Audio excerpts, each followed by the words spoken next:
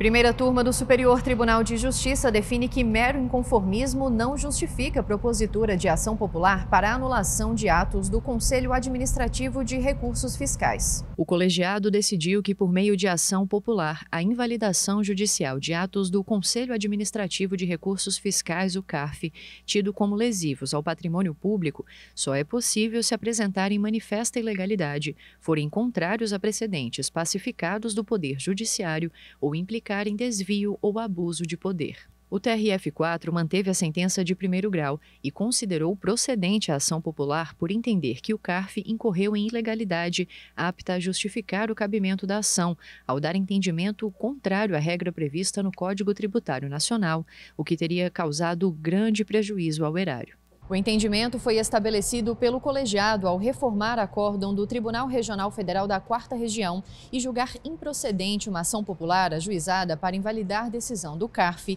que, reconhecendo a decadência, manteve a anulação de crédito tributário que havia sido constituído contra uma fundação. No STJ, a relatora, ministra Regina Helena Costa, explicou que a ação popular não se aplica à proteção de meros interesses particulares do autor, sob pena de subversão dos seus princípios e das finalidades para as quais ela se destina.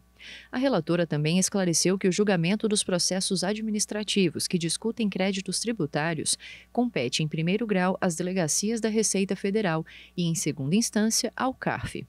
No caso analisado, a ministra, que teve o voto acompanhado por toda a primeira turma, apontou que o autor da ação popular buscou de maneira reiterada invalidar os acórdãos do CARF apenas por discordar da interpretação firmada pelo colegiado quanto ao alcance da legislação tributária.